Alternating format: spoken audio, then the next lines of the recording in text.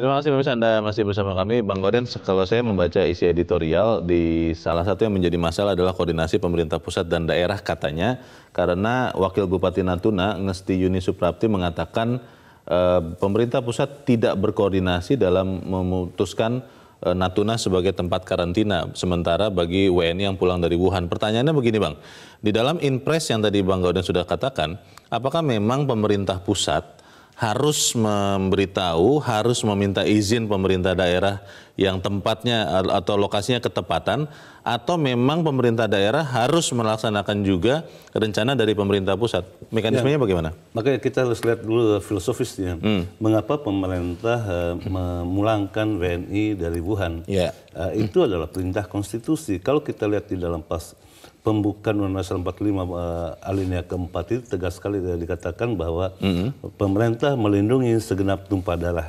Yeah. Di mana pun warga negara Indonesia itu berada, pemerintah wajib melindunginya, mm. termasuk melindungi warga Indonesia dari serangan virus corona, corona ya? yang berada di Wuhan, Wuhan itu yang pertama. Okay. Yang kedua tentu terkait dengan pemenuhan hak asasi manusia warga Indonesia hmm. di mana pun dia berada menurut pasal 3, 28 28D uh, ayat 1 itu negara wajib melindungi. Hmm. Nah, di dalam rangka perlindungan inilah kita melihat konteks bagaimana pemerintah uh, segera pada yeah. kesempatan pertama memulangkannya. Yeah. Nah, pertanyaan tadi, apakah harus berkoordinasi dengan pemerintah daerah untuk penempatannya? Hmm. Nah, di dalam uh, Inpres nomor 4 2019 itu tegas sekali tugas masing-masing pihak. Di sana pemimpinnya itu di dalam uh, Inpres itu ada hmm. dua, Menko Polkam dan Menko Kesra ya.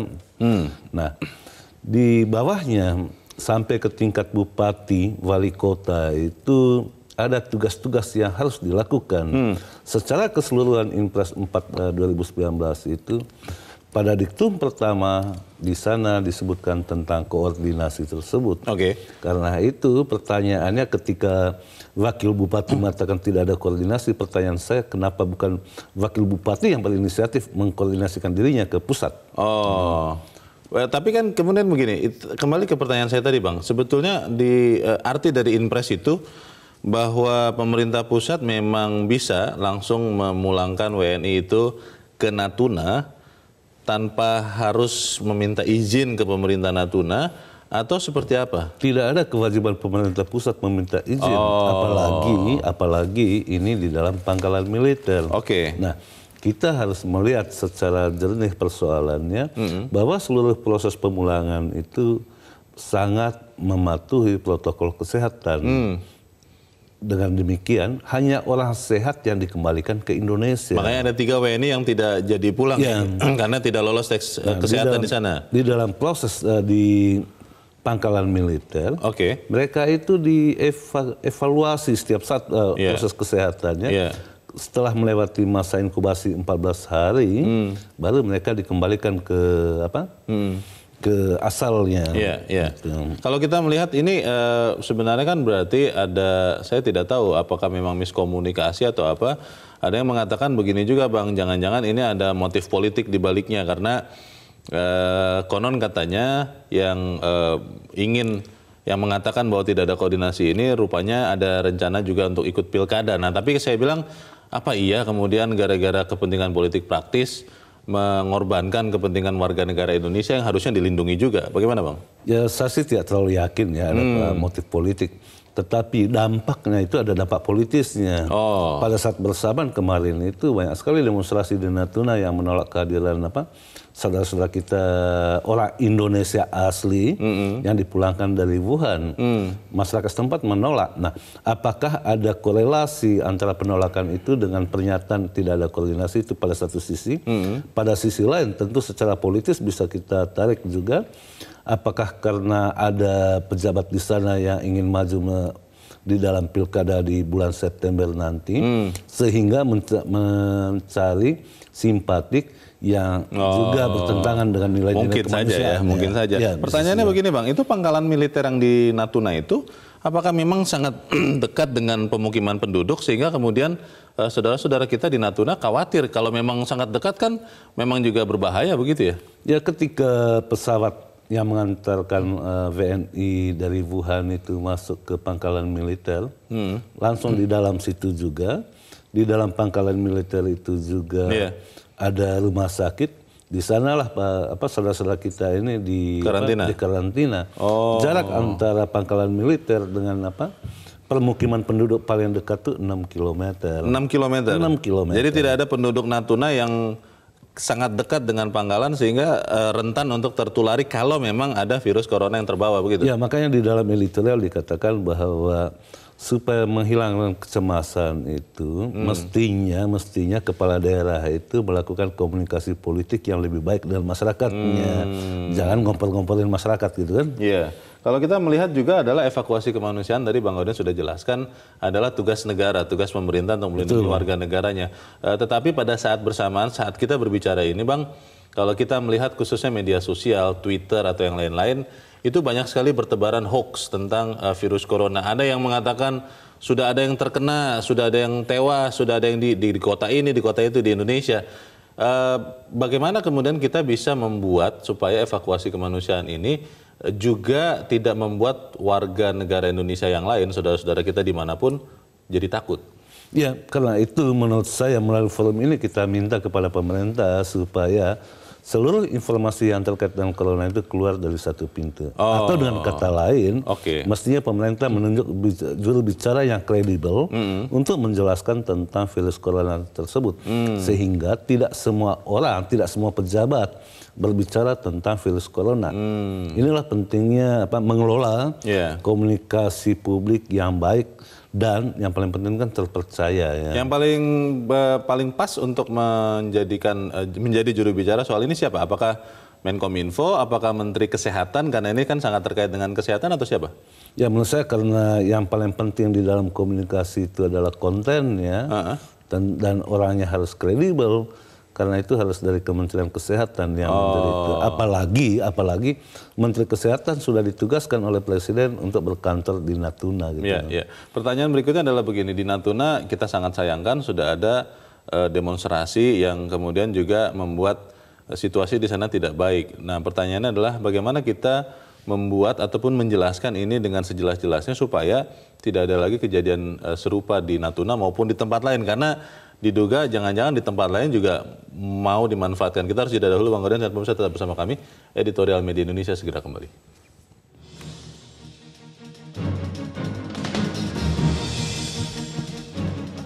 Terima kasih pemirsa Anda masih bersama kami di Editorial Media Indonesia. Bang Godens, kita coba dengarkan dulu pendapat dari pemirsa Metro TV sebelum kita lanjutkan diskusi kita. Kita sudah terhubung dengan penelpon uh, Metro TV, pemirsa Metro TV dari uh, Kabupaten Sambas, Natuna, Kepulauan Riau. Ada Pak Indra. Pak Indra, selamat pagi Pak.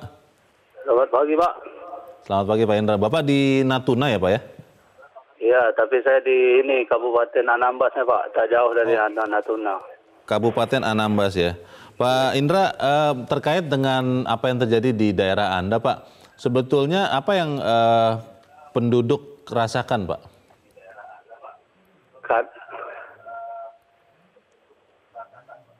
Karena begini, Pak, uh. saya selaku yang mendengar di TV, karena belum tentu juga, Pak, yang di yang dituduhkan pemerintah di Jakarta, karena itu tidak semua, Pak, yang menolak itu. Oh tidak semua ya? Ah, kan karena inilah Pak, jadi kan Kabupaten Anambas ini dengan Kabupaten Natuna nih Pak, sebenarnya harus dipantau terus. Uh, oh. Apa yang terjadi di Natuna, apa uh, jadi se tidak semua yang memang saya dengar di TV itu 6 km Pak.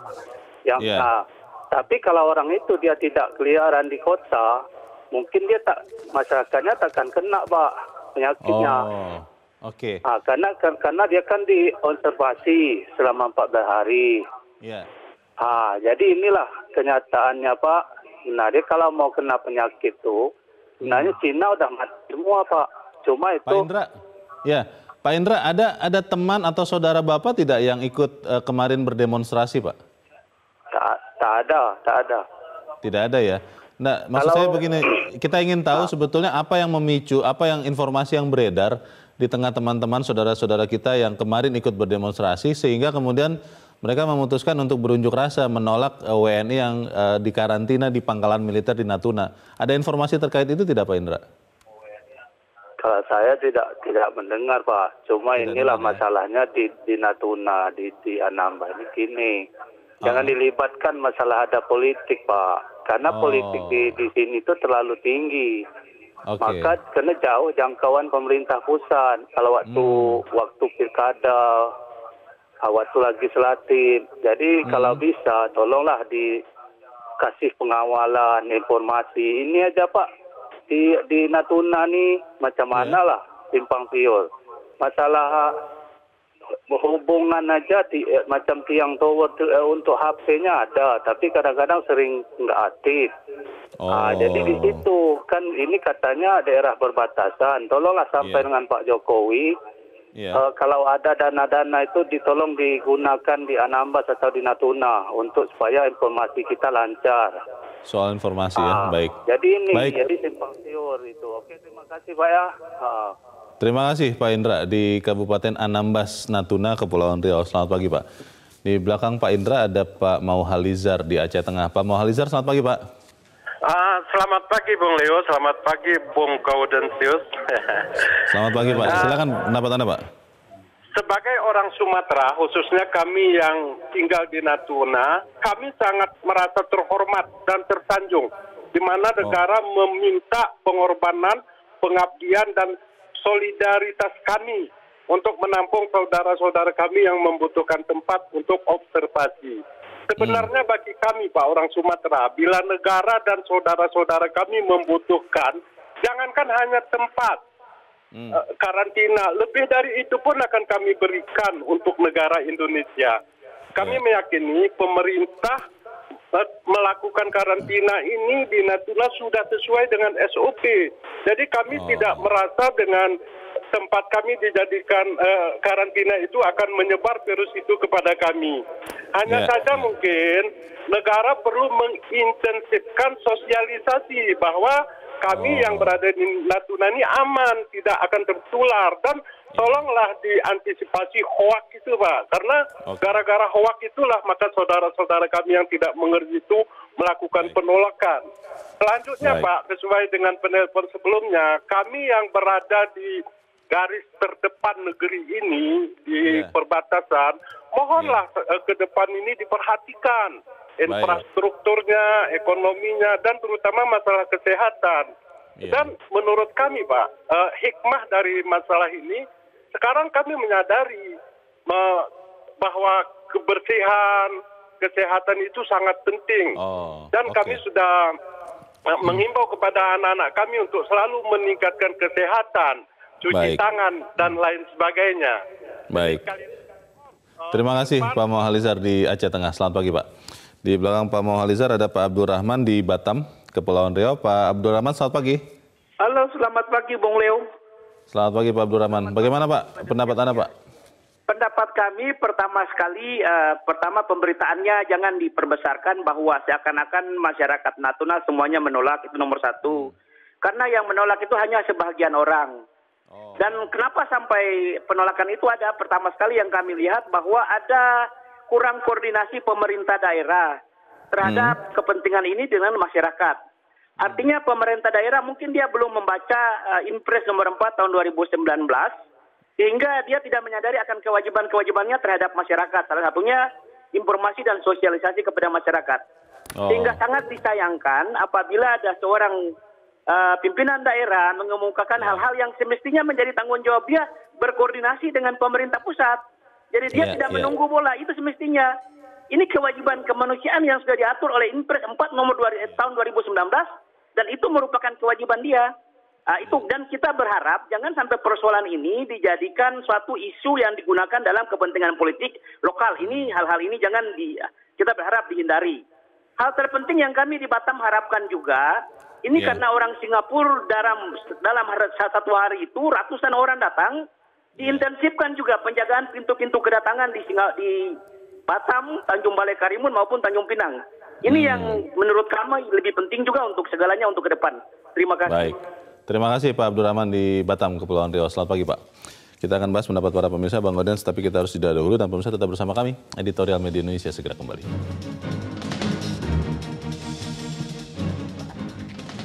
Terima kasih pemirsa Anda masih bersama kami. Kita di bagian akhir dari diskusi kita pagi ini. Bang Godens tadi eh, pada penelpon ada beberapa poin yang menarik yang mengatakan bahwa eh, tidak semua warga Natuna menolak kehadiran WNI yang uh, dikarantina di pangkalan militer di sana. Ini menjadi sesuatu yang penting dan juga permintaan dari saudara-saudara kita terutama di uh, Natuna dan dari Batam tadi juga soal komunikasi atau sosialisasi harus ditertibkan oleh pemerintah. Bagaimana, Bang? Ya, kalau komunikasi dari pusat itu kan sudah jelas ya. Hmm Panglima TNI sudah berbicara dengan sangat-sangat clear tentang mengapa Natuna dipilih. Mm -mm. Natunanya itu kan luas ya. Yeah. Yang dipilih itu pangkalan militer. Pangkalan Betul. militer itu jauh dari apa? Pemukiman penduduk. Pemukiman penduduk. Mm. 6 km dari pemukiman penduduk. Mm. Dan seluruh penanganan uh, selama proses karantina itu mematuhi protokol kesehatan yang ditetapkan oleh WHO. Yeah. Itu artinya mereka yang berada di apa dalam karantina itu tidak bisa keluar dari tempatnya. Oke. Okay. Apalagi tentara diperintahkan untuk menjaga hmm. seluruh kompleks itu.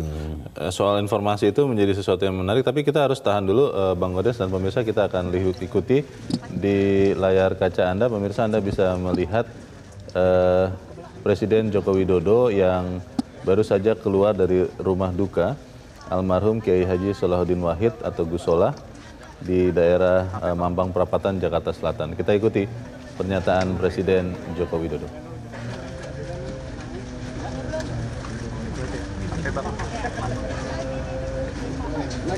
Fokus gimana? Min, nunduk min, min nunduk min. Innalillahi wa inna ilaihi rajiun. Innalillahi wa inna ilaihi rajiun. Innalillahi wa inna ilaihi rajiun. Saya atas nama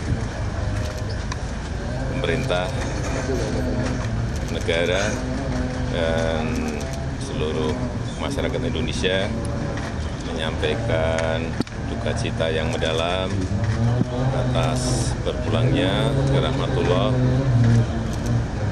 Bapak Kiai Haji Dr. Insinyur Sulahuddin Wahid sholat tadi malam jam 8.55 di rumah sakit harapan kita.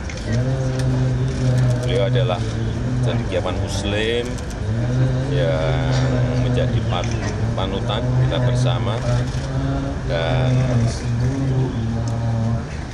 tentu saja kita semuanya masyarakat Indonesia kehilangan sangat kehilangan atas eh, pulangnya beliau ke rahmatullah Semoga segala amal baik musolah diterima di sisi Allah Subhanahu wa taala. Husnul khatimah dan yang ditinggalkan diberikan ketabahan dan kesabaran. Bagaimana?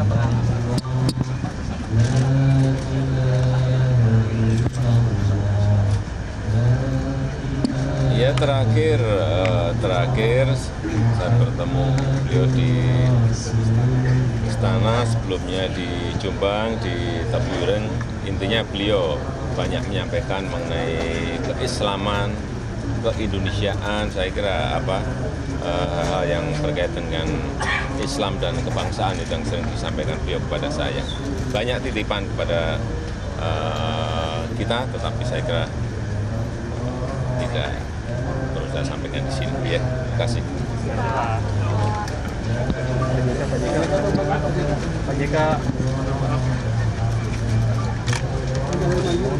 Pak.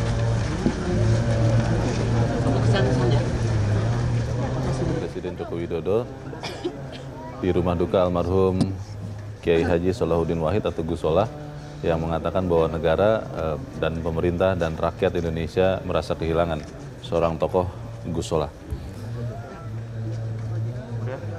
kehadiran negara ini penting, uh, Bang Godes. Dan kalau kita kembali lagi ke editorial evakuasi kemanusiaan, sebetulnya negara itu kan harusnya lengkap, baik dari pusat sampai ke daerah.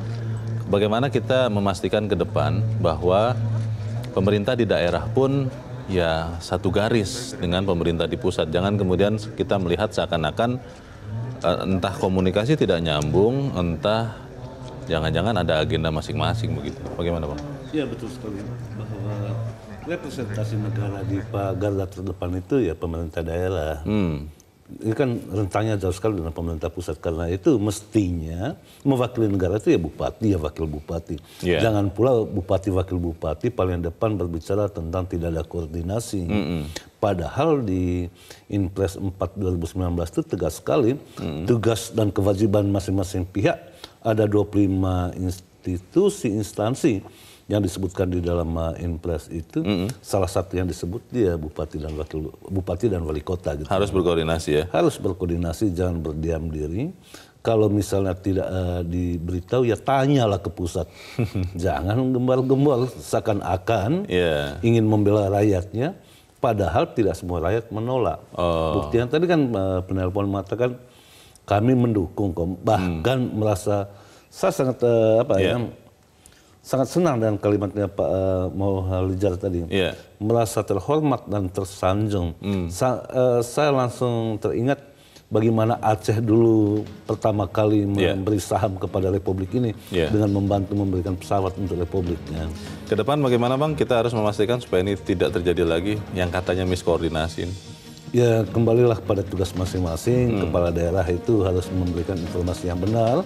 Jangan menggunakan apa penderitaan kemanusiaan ini untuk kepentingan politik praktis. Baik, semoga itu yang terjadi. Kita uh, harapkan evakuasi kemanusiaan ini benar-benar uh, mengembalikan WNI kita dan pada waktunya nanti bisa kembali ke tengah-tengah masyarakat karena sudah terbukti sehat begitu ya, Bang ya, betul sekali. Terima kasih Bang Gaudin Siswadi sudah hadir di tempat ini. Selamat pagi, Bang. Pagi, loh. Pemirsa, setiap institusi yang ditugaskan dalam Inpres 4 2019 mengambil inisiatif untuk menyatukan langkah dalam kebijakan pusat terkait dengan penanganan dampak virus corona. Pemerintah daerah jangan pasif, apalagi jadi penonton dalam proses evakuasi yang merupakan tugas kemanusiaan. Tugas pemerintah daerah adalah menginformasikan bahwa tempat karantina di pangkalan militer di Natuna itu masih aman bagi warga sehingga mereka tidak perlu cemas. Saya Leonard Samosir, terima kasih Anda sudah menyaksikan. Selamat pagi.